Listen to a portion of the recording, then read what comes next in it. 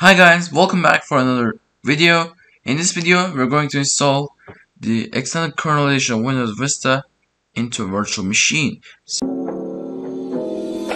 My guy pretty like a girl, and he got five stories to tell. I see both sides like Chanel, see on both sides like Chanel. Swimming laps through the pool.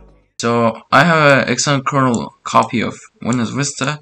Thanks to Arthur Masto Maston for creating this ISO on technopat.net social.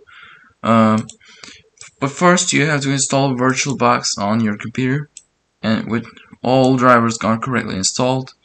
Uh, when you make sure about all drivers are correctly installed, then click New and give a name for your operating system. Uh, I'll give Windows Vista. Nothing even changes. Uh, it, it even automatically thinks that it, we are going to install Windows Vista because of our name on this virtual machine. So let's click next and here's the memory um, size part. We are going it's set it to 512 megs default. This is the lowest amount of RAM that Vista requires to run properly, but even 2 gigabytes it will run like a total crap. So um, I'm going to do it 4 gigs. I'm going to give 4 gigabytes of RAM. I, got 16 of them. And I'm going to create a virtual hard disk. Um, mm, don't just touch there. Click next. Uh, and you you must select dynamically allocated um, to install virtual machine.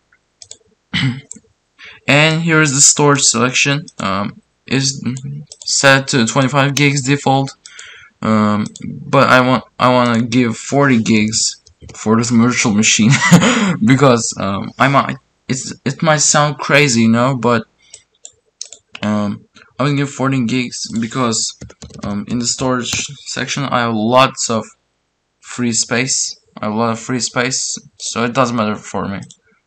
Too, perform too much performance from this device you must enable 3D acceleration for best performance and you can maximum set it to 256 megs in the storage section. Um, this is the most important part. You have to follow this carefully. Um, so go to the DVD icon and hmm, choose a disk file. This this option will help you to choose a disk file and yep our ISO image is located on the desktop so let's see. So let's insert this ISO image. And this is all we are going to do. So let's start the virtual machine. All settings are done. Um, the only thing left to do is installing the Windows Vista extended kernel. Um, this ISO image will boot first time as a Windows 7 animation. But keep in mind this is a Windows Vista and yep, it shows us it's Windows Vista, so it's English US. Mm. But for now, uh, I have a Turkish Q keyboard, so um, this is depends on depends on your keyboard. Um, you have to select um, the the option with, which matches with your mm, current keyboard. So let's just continue install now, and here we go. Um, it asks to enter your product key, but I don't have any product key yet. And keep in mind, this is a virtual machine. It doesn't matter. Uh, you, you enter a product key or you don't. Um, but uh, it wants you to enter later, but we don't have any product key yet. So I'm just skipping here. Let's wait for a bit. And yep, um, you you must accept the license terms. Um, if you don't, it, it will not allow you to install the Windows Vista. So it's impossible to upgrade from USB flash drive um, while your OS doesn't even exist on your computer. So the only option um, available for us is um, a custom installation. Um, Yep. We set we set it to 40 gigs and this is the amount of storage we gave to the virtual machine. Um,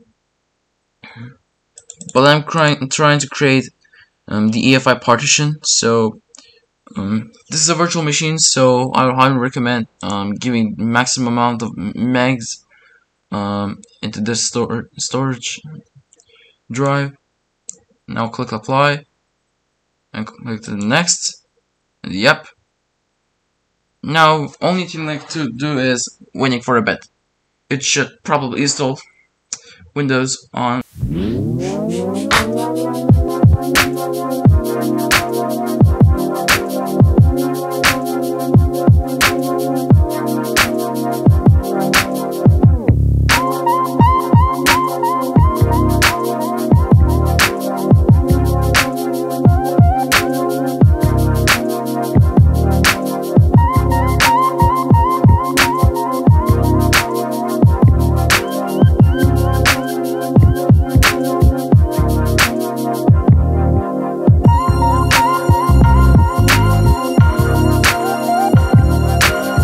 As you can see, the everything is done. Now, the only thing left to do is um, customizing your account, um, such as giving your a name or a password, or connecting your computer into a wireless network. So, uh, I want to name as Dennis Boiler. Um, it completely depends on your choice. Um, I want to type password. Uh, um, I want touch here. But uh, keep in mind, um, when you don't select these options, um, it's more to um, vulnerable to um, security threats such as security flaws. So I highly recommend doing selecting this option. Now um, I'm using Eastern Time US Canada um, time. So this is my clock um, right now but why it doesn't even work?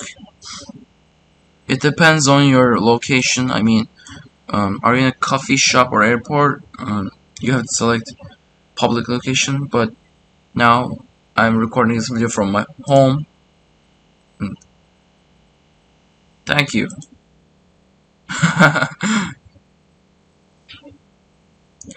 Now the only thing left to do is waiting for a bit until it finishes customizing.